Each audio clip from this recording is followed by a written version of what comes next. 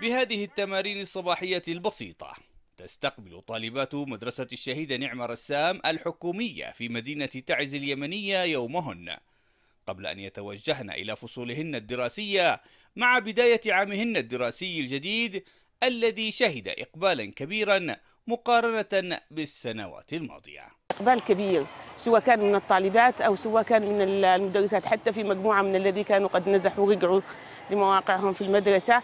فنلاحظ بأنه الطالب عنده شغف كبير جدا أنه يشتي يتعلم.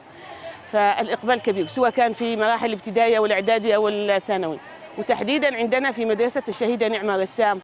ومع بداية كل عام دراسي تتجدد في اليمن المخاوف من ارتفاع عدد المتسربين من المنظومة التعليمية. والذين وصلت أعدادهم إلى أكثر من مليوني طالب وطالبة في عموم اليمن منذ اندلاع الحرب عام 2015 بحسب تقارير دولية.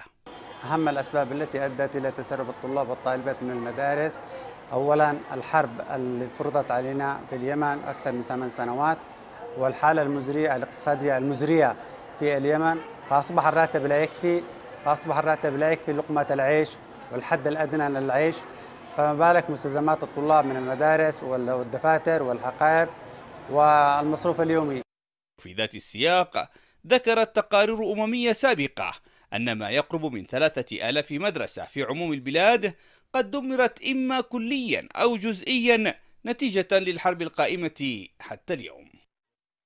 برغم الدمار الذي طال قطاع التعليم في اليمن بسبب الحرب وتداعياتها السلبية إلا أن كثيرا من اليمنيين يصرون أن يكمل أبنائهم التعليم تحت أي ظرف. فيصل الدبحاني الغد تعز.